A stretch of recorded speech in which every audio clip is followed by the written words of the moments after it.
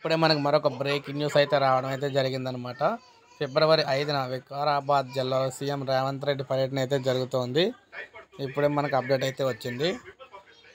ఫిబ్రవరి ఐదున ఈ విధంగా అయితే సీఎం రేవంత్ రెడ్డి గారు పర్యటన అయితే చేస్తున్నారన్నమాట ముఖ్యమంత్రి రేవంత్ రెడ్డి ఫిబ్రవరి ఐదున వికారాబాద్ జిల్లాకు విచ్చేస్తున్నట్లు వికారాబాద్ జిల్లా డిఆర్డిఓ కృష్ణ ఇక్కడ ఈ విధంగా తెలియజేశారు. సోమవారం మాట్లాడుతూ వికారాబాద్ జిల్లాలోని కొడంగల్లో నిర్వహించే వివిధ అభివృద్ధి సంక్షేమ కార్యక్రమాల్లో ముఖ్యమంత్రి రేవంత్ రెడ్డి పాల్గొంటున్నారని చెప్పేసి తెలిపారు.